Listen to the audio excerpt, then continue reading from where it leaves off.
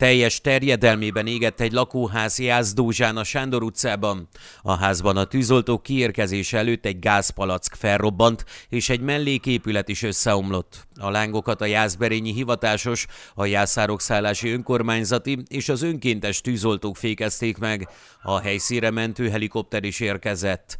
Egy 70 négyzetméter alapterületű családi ház belső tere égett teljes terjedelmében Jászdózsán a Sándor utcában. A tűz következtében az ingatlan födém szerkezete több helyen beszakadt, ablakai kitörtek, kirobbantak, illetve az ingatlanban kettő darab gázpalack volt, melyek szintén felrobbantak a tűzben.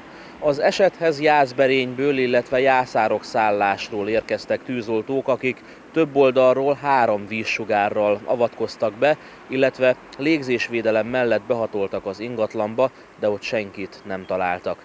A tűz következtében az ingatlan lakója megsérült, őt a mentők kórházba szállították. A katasztrófa védelem az esettel kapcsolatban tűzeseti helyszíni szemlét folytatott le. Információink szerint a mentők egy embert súlyos, életveszélyes sérülésekkel szállítottak helikopterrel kórházba.